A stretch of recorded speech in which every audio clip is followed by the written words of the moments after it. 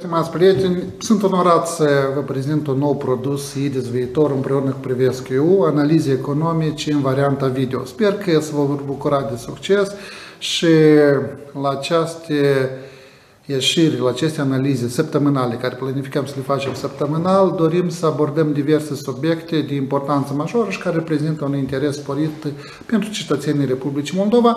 Formatul va fi unul de descifrarea anumitor fenomene economice, astfel ca nouă să ne se facă clar care este situația, care sunt tendințele și ce fenomene se întâmplă pe anumite dimensiuni economice. Primul subiect pe care l-am ales și nu l-am ales din întâmplare, deoarece credem că anul acesta va fi în tompul discuțiilor, este piața imobiliară în Republica Moldova.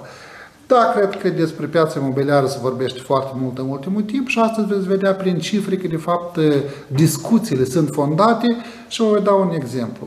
Dacă până în anul 2017 volumul mediu de tranzacții cu apartamente, care este cel mai mare segment a pieței imobiliare, în Republica Moldova se cifra în jur de 13-15 mii de apartamente anual, acum noi am ajuns dublu, practic suntem într-un boom al pieței imobiliare în ultimii trei ani de zile. Anul 2021 a venit cu o surpriză, în ce sens că noi am avut pe piața bunurilor imobiliare, am avut e, tranzacții cu apartamente pe întreg teritoriul țării în valoare de 7,6 mii apartamente, ceea ce este un record absolut pentru Republica Moldova în această perioadă anului. Așa ceva nu a mai fost niciodată și dacă tendința se va menține, atunci anul 2021 cel mai probabil va fi un an unde vor fi bătute toate recordurile de pe piața imobiliară. Al doilea lucru care tot s-a întâmplat în primul trimestru este vânzarea caselor imobiliare, caselor uh, particulare, ce scuze, în municipiul Chișinău. Noi am avut o accelerare a pieței, o creștere destul de importantă în anul 2020, însă în anul 2021, în primul trimestru, au fost vândute 440 de case, ceea ce este iarăși un record absolut pentru municipiul Chișinău și dacă situația se va menține, atunci noi, cel mai probabil în acest an, vom avea vânzări cu cel puțin 30-40% mai mult decât media obișnuită pentru municipiul Chișinău. De ce se întâmplă acest lucru? Cel mai des aud întrebarea cine mai cumpără apartamente că toată lumea pleca din țară. Astăzi cred că voi încerca să răspund la toate aceste întrebări și dacă le-am luat așa, atunci piața imobiliară se împarte în câteva segmente. Primul segment, când vorbim despre piața imobiliară, este legată de unde se vând apartamentele. Și aici, pe această piață, se întâmplă în ultimii ani o tendință destul de importantă. Cel mai mult piața se concentrează în municipiul Chișinău. În prezent, voi separa casele individuale de apartamente și dacă ne oprim de întâi la apartamente, voi spune în felul următor. Piața imobiliară legată de apartamente se concentrează din ce în ce mai mult în municipiul Chișinău. Dacă 5-6 ani în urmă, 60% din apartamente se vendeau în Chișinău, iar restul se vendea în afară, în restul Republicii, în prezent piața s-a concentrat în proporție de 80% în municipiul Chișinău. Deci, practic, 4 din 5 apartamente care sunt în prezent vândute sau procurate are loc în municipiul Chișinău. Am putea spune că viața în afara municipiului Chișinău încet, încet dispare. Lucrul acesta se explică și pentru un fenomen care voi răspunde la întrebarea cine mai cumpără apartamente că lumea pleacă din țară. Aici trebuie să dăm un răspuns foarte clar. Lumea pleacă din țară, dar nu pleacă de municipiul Chișinău. Noi, de fapt, asistăm la două tipuri de migrație în Republica Moldova. Prima este migrația externă, când oamenii din, din uh, Republica Moldova pleacă peste hotare și a doilea migrația internă, toată lumea înțelege. Toate localitățile din Republica Moldova se confruntă cu scăderea numărului populației, dar nu și municipiul Chișinău, unde populația crește constant în ultimii ani de zile și mai este un fenomen despre care voi vorbi în continuare din ce cauză se întreabă apartamentele, respectiv populația Chișinăului crește, oamenii din sate își vând casele, își vând locuințele din sate, se mută la Chișinău și în felul acesta noi avem o cerere constantă și crescândă a numărului a locuințelor pentru municipiul Chișinău. Dacă să ne uităm ce se întâmplă în acest an, noi avem, dacă în valoarea anuală noi în prezent, cum am spus, este 80% să vândă municipiul Chișinău și piața anul trecut a, a cunoscut o ușoară scădere comparativ cu anul 2019. De fapt, noi în 2019 am avut un record și să rog colegii mei să prezinte slide-ul numărul 4, numărul de tranzacții de vânzare-cumpărare după locații și dacă ne uităm foarte atent, numărul record de apartamente care a fost vândut în Republica Moldova a fost în anul 2019 și a vândut 28.000 și aproape 700 de apartamente. În anul 2020, piața imobiliară a cunoscut o ușoară scădere, însă, aici trebuie să nuanțăm. A cunoscut o ușoară scădere, dar nu din contul Chișinăului. În Chișinău ea a continuat să crească, după cum continuă și în acest an. Ea a scăzut exclusiv din contul restul Republicii, unde numărul de tranzacții a scăzut cu 12%. Acum, în anul 2021, simțim o ușoară înviorare și în restul Republicii Moldova. Deci, practic, cetățenii Republicii Moldova procură apartamente nu doar în Chișinău, dar au început încet, încet să procure și în restul Republicii. Desigur, vorbim în special de orașele mari, Bălți și restul municipiilor din țară, dar oricum simțim o ușoară înviorare, deci, prin întreaga Republică și în mod special în municipiul Chișinău, locuințele continuă să crească vânzările. A doua întrebare care apare, sau următoarea întrebare care apare, tipurile de apartamente care se procură în Republica Moldova. Vreau să vă spun că în Republica Moldova undeva 35% sau fiecare a treilea apartament care se procură este apartament nou în casă noi, iar două treimi din apartamente sunt din casele vechi. În acest an, în anul 2021, deci noi avem o creștere a numărului de tranzacții imobiliare, însă el este practic exclusiv din contul apartamentelor de mâna a doua. De ce ce ne face să le spunem că oamenii cu venituri mai modeste, de fapt ei sunt cei care au mișcat piața în sus, sunt cei care procură apartamente și de regulă ei preferă apartamente mai ieftine care sunt, în prezent, apartamentele de mâna a doua, ele dacă comparăm cu apartamentele noi în variantă finisată, apartamentele noi se primește că în prezent sunt aproape cu 50% mai scumpe decât apartamentele de pe piața secundară. Deci, în felul acesta, noi am putea spune că în Republica Moldova noi asistăm la o mișcare ușurică a pieței de la apartamente noi la apartamente de pe piața secundară, însă lucrul acesta cred că nu este ceva de lungă durată. În continuare putem spune că undeva 30-35% din apartamente sunt noi, restul sunt uh, uh, apartamente de piață secundară. Un alt uh, aspect care trebuie să-l analizăm și de fapt în opinia mea aceasta a mișcat piața imobiliară în sus în ultimul timp și aici să nu vă duc în eroare faptul că cifrele nu sunt foarte mari, că aici este nu numai numărul tranzacției, dar și volumul de creditare, sunt modul cum oamenii și-au rezolvat problema de finanțare a locuințelor. Și aici ne apropiem de cel mai important aspect, din ce cauză la noi practic avem o explozie sau un boom, mai bine zis un boom al pieței imobiliare în ultimii ani de zile și inclusiv în anul 2021 și acesta este cauzat de modul cum cetățenii noștri îți finanțează locuințele. Deci dacă ne uităm pe următorul, am să rog colegii să prezinte următorul slide numărul 5 cu modul cum cetățenii își procură apartamente, vedeți că finanțarea poate fi de două feluri. Sau omul vine cu banii lui și pune pe masă, sau el ia un credit ipotecar. Vreau să vă spun că în prezent în Republica Moldova creditele ipotecare pentru procurarea unui apartament au devenit un adevărat hit al eh, tranzacțiilor și al creditelor bancare. Pentru a înțelege acest lucru, este suficient să vă uitați, vom sări acum peste câteva grafice și vom sări tocmai la graficul numărul 9, creștere portofoliului de credit imobiliare media lunară în Republica Moldova și veți vedea că, de fapt, eh, cetățenii noștri au găsit o o soluție prin care își pot rezolva problema imobiliară și prin aceasta se explică această creștere masivă a tranzacțiilor imobiliare. Dacă ne uităm atent, în ultimii 15 ani, în medie, portofoliul de credite bancare pentru procurarea unui imobil creștea în fiecare lună cu 16 milioane de lei. În acest an noi avem aproape de 10 ori mai mult, 153 de milioane de lei a crescut portofoliul de credite bancare pentru procurarea de imobil. Asta s-a întâmplat și în anul 2019 când am avut un boom absolut. În 2020 am avut o ușoară scădere provocată de criză, oamenii erau îngrijorați, dar oricum 134 de milioane de lei, 137 de fapt de milioane de lei tot este undeva de vreo 8 ori mai mult, aproape 9 ori mai mult decât media din ultimii 15 ani. De fapt, noi 4 ani la rând, 2018-2021, asistăm la un boom a creditelor imobiliare.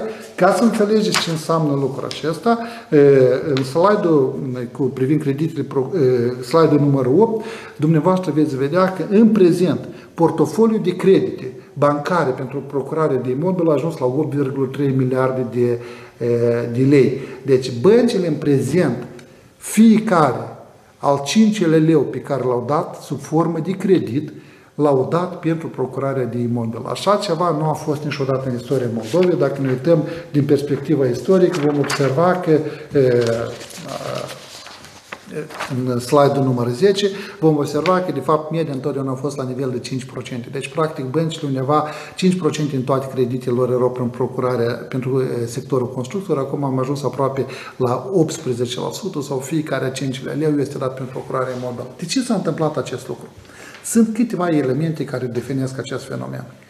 Primul este accesibilitatea locuințelor. Când vorbim despre accesibilitatea locuințelor, trebuie să înțelegem că prețul nu este determinant. Cel mai relevant indicator este câți ani trebuie să lucreze un cetățean în Republicii Moldova pentru ca să-și procure o locuință.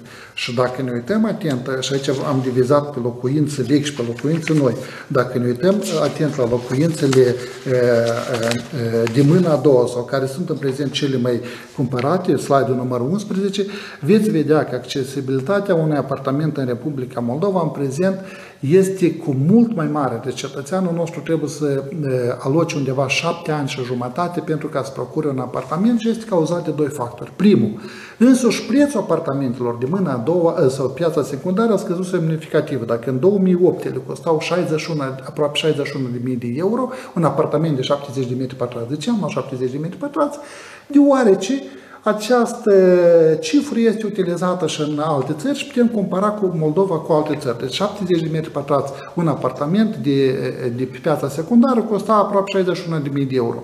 În anul 2019 am avut o ușoară, ușoară înviorare a pieței, apoi 2020 a dus piața undeva la, s-a coborât la aproape 36 de mii, mai sub 36 de mii de euro și acum noi în anul 2021 asistăm la o ușoară creștere a prețurilor. Deci cel mai probabil anul 2021 va fi marcat de câteva recorduri. Număr record de tranzacții pe piața imobiliară, doi, numărul record de tranzacții cu case individuale în municipiul Chișinău și acesta va fi primul an când noi real vom asista la o creștere de prețuri nesemnificativă, dar a, a imobilor. Și aici trebuie să facem o mică istorie ca să înțelegem de ce acest fenomen se va întâmpla și este atât de întârziat în Republica Moldova. Cred că multă lume ține minte că în anul 2008 în Republica Moldova prețul unui metru pătrat de locuință era peste 900 de euro metru pătrat. Lumea deja nu mai țin minte, era o, de, oamenii pur și simplu o nebunie a consumului, deci toată lumea se, se banga în locuințe și cele noi și cele vechi costau, chiar cele vechi costau mai, piața secundară costa mai scump decât piața primară.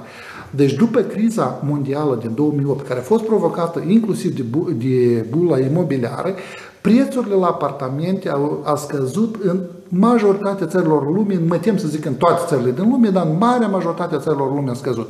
Însă, dacă în toată lumea prețurile au scăzut pentru 3-4 ani de zile și apoi au început să-și revină și undeva în anul 2012, 2013, 2014, ele s-au revenit sau chiar au întrecut prețurile din 2008, Republica Moldova a cunoscut o scădere continuă timp de 12 ani. Deci la noi prețurile, dacă în celelalte țări au început să crească, la noi ele au scăzut continuu până în 2019.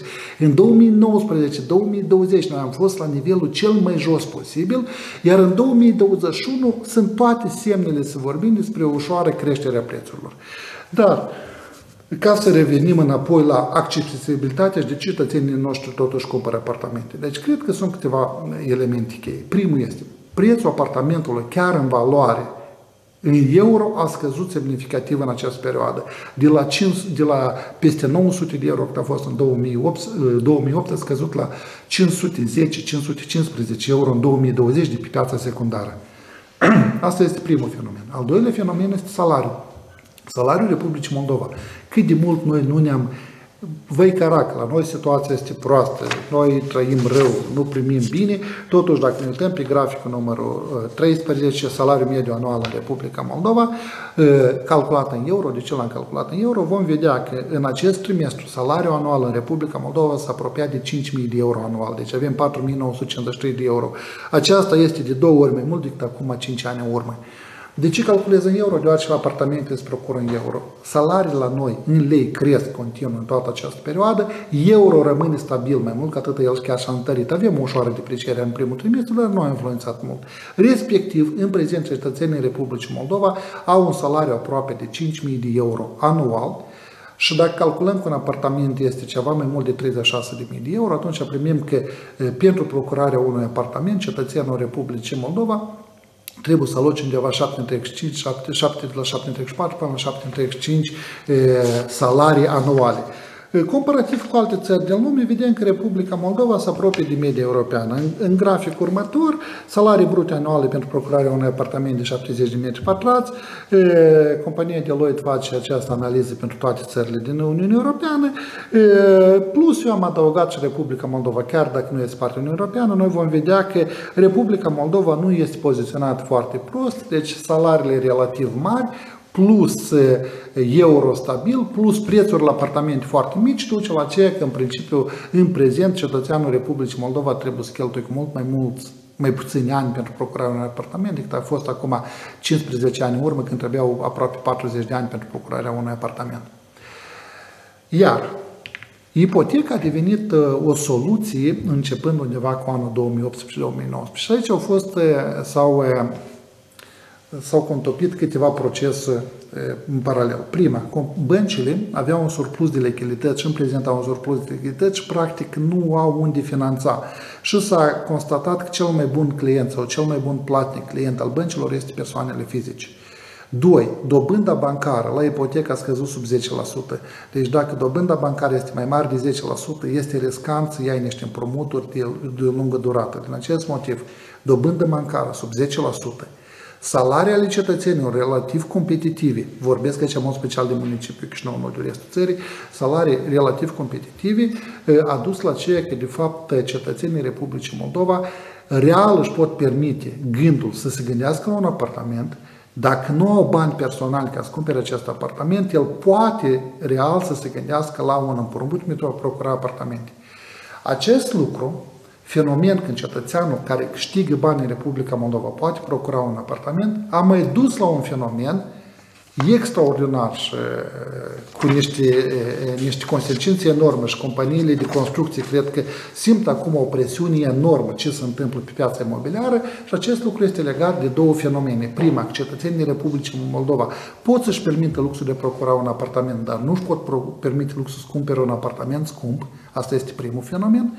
Și al doilea fenomen despre care nu se vorbește, la noi în ultimii 15 ani s-a schimbat dramatic structura și componența unei gospodării casnice în municipiul Chișinău. Dacă înainte dominau e, familiile cu 3, 4 și mai multe persoane, în prezent la noi asistăm la o creștere la număr de familii cu 1 sau 2 persoane. Deci oamenii, avem foarte multe familii foarte mici, când zicem familie, de fapt gospodării casnice, ei nici nu sunt căsătoriți, deci noi avem câteva fenomene care nu s-au dezvoltat foarte mult în, în, nu s-au discutat foarte mult în Republica Moldova, dar tineri în prezent se căsătoresc cu 5 ani mai târziu decât acum 15 ani în urmă, ei nu mai vor să locuiască cu părinții sau sunt din sate și vor să locuiască în Chișinău. Și el locuiește singur, sau dacă este căsătorit, ei întârzi să aibă un copil și noi în prezent avem zeci de mii de unități, nu poți să zici familie, dar gospodării casnice, care este format dintr-o singură persoană tânără sau din două persoane tinere care nu au copii, dar au nevoie de apartamente. De aceea, atunci când cineva întreabă cine procură apartamente în municipiul Chișinău, vreau să vă spun că la noi a crescut cu aproape 100 de mii de unități familiile sau gospodăriile casnice formate dintr-o persoană sau două persoane care pur și simplu vor să locuiască separat sau nu sunt din Chișinău, nu din Chișinău. Deci ei exercită o presiune enormă pe piața imobiliară și respectiv ei au schimbat comportamentul de consum. Dacă ne uităm pe graficul repartizarea locuințelor după numărul camerelor, veți vedea că în Republica Moldova se întâmplă un fenomen extraordinar de schimbare totală a tot ce înseamnă cerința față de piața imobiliară. În anii 2000, la noi 90% din uh, apartamente care se construiau aveau 3-4 camere și mai mult și doar 9% erau de 1 sau 2 camere. Deci fapt, se construiau foarte puține apartamente, dar toate care se construiau aveau o suprafață enormă. Următor, graficul precedent, am să rog să, să prezint colegul meu, suprafața medie a unui apartament, graficul număr 16, suprafața medie a unui apartament în Republica Moldova. În anul 2003, suprafața medie, fiți atenți, nu mare, dar medie în Republica Moldova era aproape 130 de metri pătrați. Din ce cauză? Apartamente își puteau permite luxul să procure doar oamenii care de afaceri, oamenii bogați, oamenii care, pentru care apartamentul era un lucru de lux și atunci ei toți, evident, ce era pentru apartament apartamente mari. Acum, deoarece pe piață au intrat tinerii care locuiesc singuri sau care locuiesc în doi fără familie, care nu sunt foarte bogați, dar deja au bani, pentru ei este apartamentele mici și în prezent 83% situația s-a inversat. 83% din toate apartamentele care se, se procură în prezent sau care se construiesc în prezent sunt cu unul sau două camere. De fapt, cererea este pentru apartamente cu suprafață mici și suprafața unui apartament în mediu în prezent a scăzut de două ori față de 2003 și a ajuns la 65 de metri pătrați. De fapt, companiile de construcție se confruntă cu o cerere enormă de apartamente cu suprafață micuți și noi suntem nevoiți să, să asistăm la construcția de blocuri unde nu mai sunt apartamente cu 3 sau 4 camere, practic sunt niște blocuri unde pe o suprafață micuță sunt înghesuite, ca alt cuvânt îmi găsesc, sute de familii, deoarece toți preferă suprafețe foarte micuți. De ce acest lucru se întâmplă? Am explicat foarte clar. Nu sunt oameni bogați, nu sunt oameni cu familie mari și sunt oameni care își pot permite luxul deja să procure apartament pe banii câștigați în Republica Moldova. Și încă un impact, ultimul despre care aș vrea să vorbesc la piața imobiliară, ține de scopul pentru care cetățenii noștri procură apartamente. Deci, noi nu discutăm acest lucru în spațiu public, nu se discută și atunci când guvernul a venit cu programul Prima Casă, a ajutat tine să-și rezolvă problema de locuințe, niciodată în spațiu public nu s-a discutat un aspect important. Cetățeanul nostru se rezolvă problema de locuință prin diferite modalități, iar una din modalități este închirierea spațiului locativ. Dacă ne uităm atent la slide-ul numărul 20, vom vedea că în prezent în Republica Moldova avem circa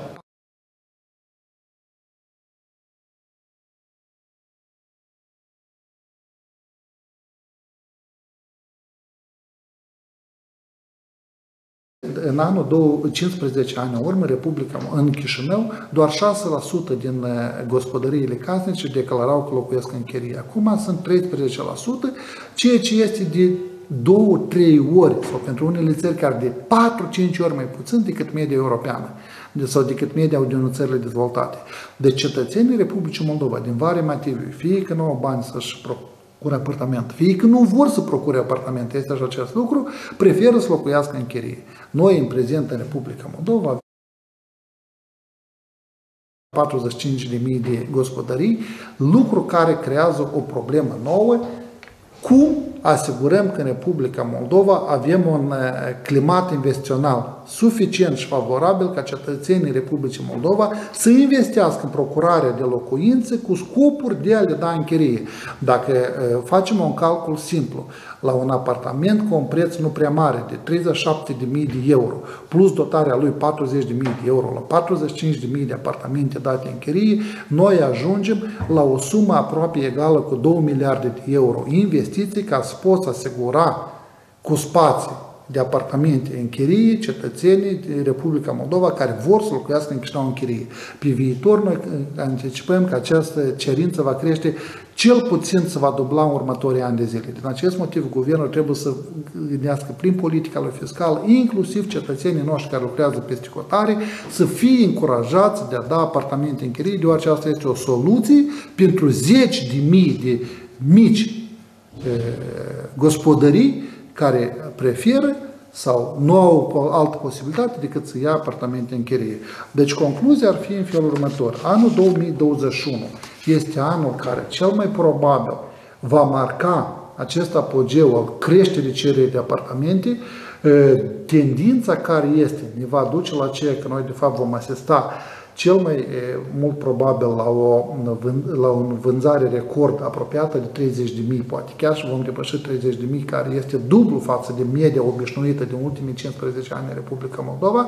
În anul 2021 se va continua, va continua tendința din 2020 când familiile mai înstărite din municipiul Chișinău preferă case individuale, chiar în zona de suburbie și noi deja asistăm la cel mai mare număr de tranzacții nespecifice pentru primul trimestru anului. Dacă situația va continua atunci, în acest an, cel mai probabil vom avea un volum de tranzacții cu 30-40% mai mare. O altă tendință este că în anul 2021 cred că va domina piața apartamentelor secundare și cu suprafață mici, am explicat din ce cauză, cu oameni în felul acesta încearcă să-și rezolvă problema de locuințe, creditele bancare în domeniul procurării de apartamente va continua să crească și ritmul actual este unul nu ca în 2019, cel mai probabil ne va apropia de anul 2019, vom avea, cred că vom trece destul de ușor de 10 miliarde de lei credit, portofoliu de credit pentru procurarea de imobil. Prețul la imobil, cel mai probabil, după 13 ani de scădere continuă, în acest an va înregistra o ușoară creștere. Pe piața primară, el deja a început să crească din 2020 și în anul acesta vom avea o ușoară creștere și pe piața secundară. Nu cred că vom asista la o creștere majoră, dar primele semnale că noi nivelul de jos l-am atins, le avem și în prezent este o ușoară tendință de creștere. Aceasta este pe scurt tot ce am vrut să vă despre piața imobiliară, care deja de patru ani de zile ne atrage atenția asupra ei din simplu motiv că fenomenele care se întâmplă în ultimii ani de zile pe această piață sunt incomparabile cu perioada precedentă anului 2017. Vă mulțumesc mult și sper că acest format de discuție va fi unul atractiv pentru fiecare din voi. Până data viitoare!